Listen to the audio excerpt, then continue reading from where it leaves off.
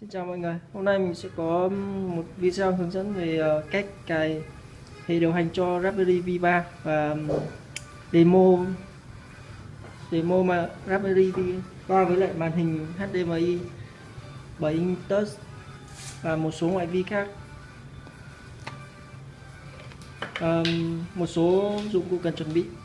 Nhất là Raspberry Pi 3 hai là thẻ nhớ thì nhớ đây mình sử dụng là thẻ nhớ 16 GB à, nguồn 5V 2A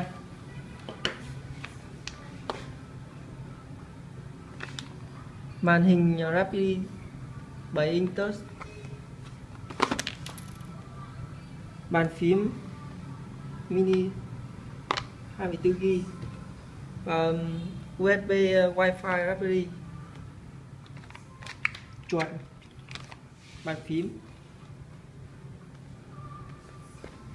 Và dây uh, cáp chuyển đổi HDMI to VGA uh, ờ, cái này để mình check với lại màn hình máy tính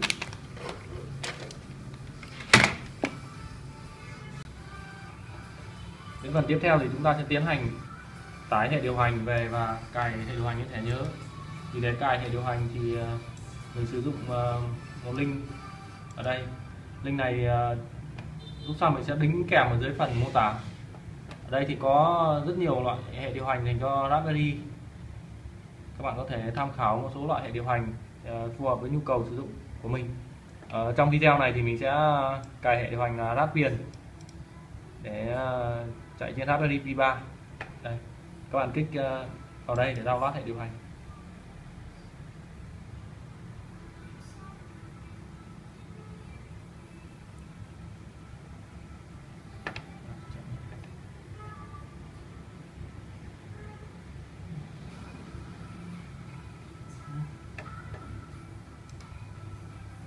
rồi đang nào đây.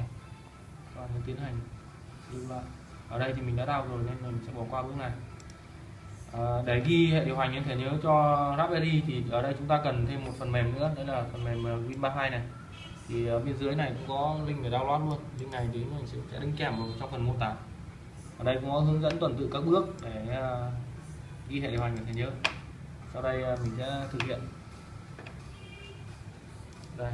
Đầu tiên thì chúng ta sau khi tải thành công ờ, file hệ điều hành về thì nó là dạng file nén thì chúng ta sẽ tiến hành giải xả nén nó ra. Đây mình kích vào đây để xả nén ra. Ở đây thì mình đã xả nén ra đây rồi. Thì trong này nó sẽ có một file dạng là đây, sẽ được một file như này. À, thì ờ, sau đấy bạn sẽ cắm thẻ nhớ vào máy tính. Và chạy phần mềm Win 32 lên.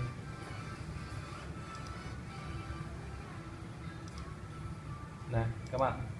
Chọn cái ờ, ổ đĩa để cài ờ, hệ điều hành ở đây. Và kích vào đây. Để chọn đường dẫn đến cái hệ điều hành mà bạn vừa giải nén ra. Đây. kích chọn các phần sau đấy tiến hành ghi xuống. Ngoài bấm biết để ờ, chọn format lại toàn bộ thẻ đấy bạn sẽ đợi quá trình ờ, ghi hệ điều hành xuống thẻ. Quá trình này sẽ mất ờ, khoảng 10 phút tùy vào cái hệ điều hành mà bạn lựa chọn. Ở đây mình ờ, dùng hệ điều hành Raspbian cho nên là nó khá là nặng và thời gian nó sẽ khá là lâu.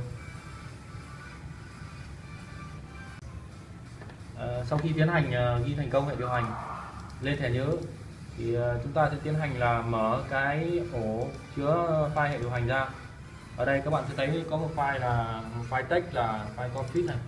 Các bạn tiến hành mở file config này lên. À, các bạn sẽ thêm cho mình ờ, đây toàn bộ dòng này vào. Cái này là để cấu hình độ phân giải màn hình. Ví dụ như ở đây lát nữa mình sẽ sử dụng một ờ, màn hình có độ phân giải là 800 nhân 480 thì mình sẽ cấu hình cho nó ở đây. Đây. Thì các bạn có thể tùy chỉnh bất kỳ độ phân giải màn hình nào ở đây bạn sẽ thêm cho mình từ đây đến đây. Còn này mình sẽ có hướng dẫn chi tiết ở trong phần mô tả. Còn đây các bạn tiến hành lưu lại. Và thoát ra. Sau đó chúng ta sẽ uh, lấy thẻ nhớ ra. Và rồi. Sau khi uh, ghi hệ điều hành lên thẻ nhớ thành công thì chúng ta tiến hành là rút thẻ nhớ ra và cắm nó vào với Raspberry Pi 3 đây đây là kit Raspberry Pi 3 hỗ trợ một cổng HDMI bốn cổng USB và một cổng LAN. À, đây là nguồn 5V 2A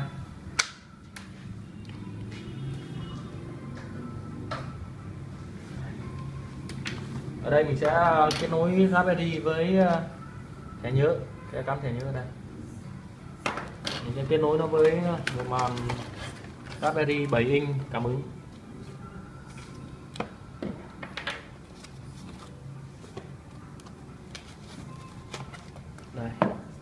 Đây là màn Raspberry 7 inch cảm ứng đây có một cổng HDMI và hai cổng micro USB dùng để à, điều khiển phần. Cảm ứng cái nguồn chúng ta sẽ tiến hành kết nối cáp HDMI từ màn hình vào Raspberry.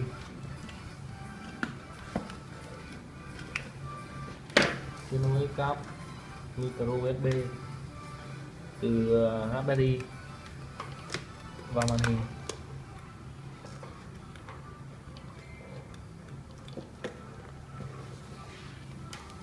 Sau đó tiến hành cấp nguồn cho à, ở đây, thì chúng ta có thể à, sử dụng à, bàn phím Raspberry Mini.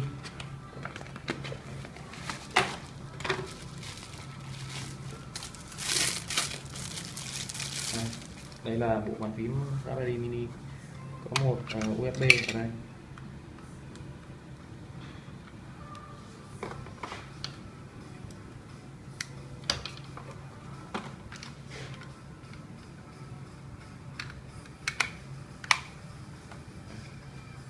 Bật nguồn.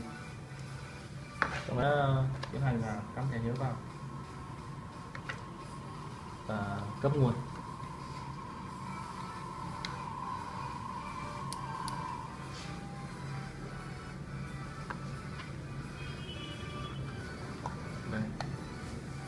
Đây khởi động.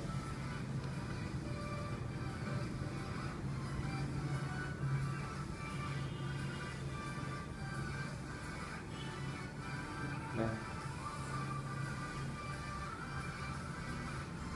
Đây là giao diện màn hình của Raspberry sau khi cài xong hệ điều hành. Ở đây chúng ta có thể tiến hành à, kết nối wifi à, truy cập mạng.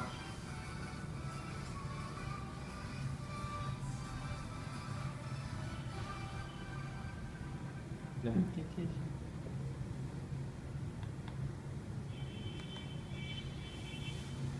Ờ, ở video này thì mình đang ờ, sử dụng là Raspberry Pi 3 thì trên Raspberry Pi 3 thì có tích hợp cả Bluetooth và Wi-Fi. Thì nếu như các bạn dùng với Pi 2 và muốn dùng Wi-Fi thì các bạn có thể ờ, sử dụng thêm một USB Wi-Fi Raspberry. Với USB này thì bên trong nó có kèm cả đĩa driver. Các bạn có thể tiến hành cài driver để sử dụng nó với Pi 2 còn đối với Pi 3 thì chúng ta có thể đã được tích hợp tất cả các phần ở trên này. Đây các bạn có thể thấy. Đây là Bluetooth này Wi-Fi này. Ngoài ra thì nó cũng hỗ trợ là chúng ta là cắm trực tiếp qua mạng LAN. Ờ. Ở đây thì ngoài sử dụng bàn phím này thì các bạn có thể sử dụng những loại ờ, chuột và phím thông, thông thường dành cho máy cây. Đây ta hoàn toàn có thể sử dụng bàn phím này cho Raspberry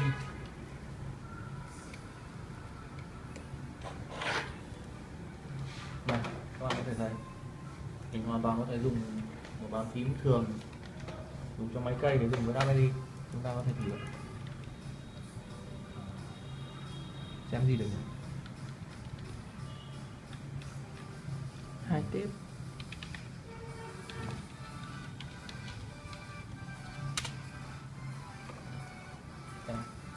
các bạn hoàn toàn có thể sử dụng bàn phím này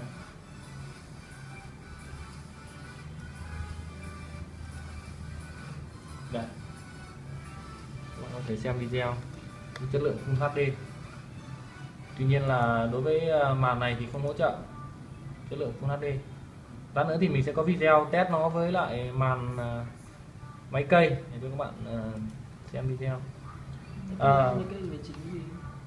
Ờ, đối với màn máy cây thì các bạn cần lưu ý là cái các bạn cần ờ, cài lại cái độ phân giải màn hình như cái khi nãy mình đã giới thiệu bên kia tùy vào cái cái màn hình của bạn độ phân giải là bao nhiêu. Ở đây bạn có thể xem Full HD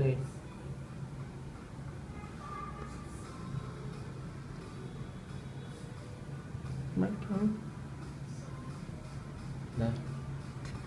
Loát một video HD một cách rất là mượt mà Đáp ứng luôn Đây. ngoài ra thì à, màn hình này hỗ trợ được chức năng cảm ứng đây, các bạn có thể dùng chức năng cảm ứng đây. Đây. Nhạy nhỉ?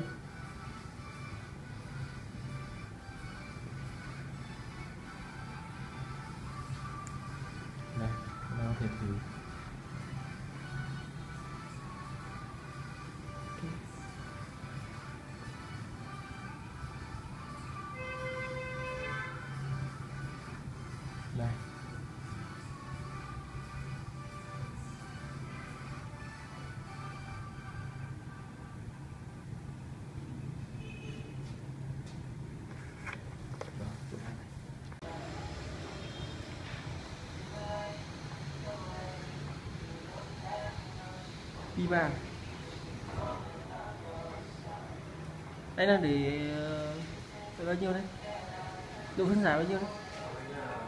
full các màn hình 20 giây